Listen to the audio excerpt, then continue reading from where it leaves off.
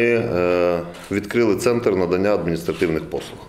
Новий, сучасний, який зараз е, е, буде працювати для того, щоб чернівчани відчували себе європейцями, коли звертаються до влади з будь-якими питаннями.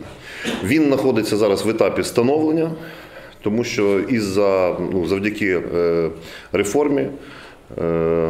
Органам місцевого самоврядування, органи юстиції передають певні повноваження, тому там будуть працювати і працівники юстиції, і наші працівники для того, щоб ці повноваження е, безболісно, скажімо так, передати.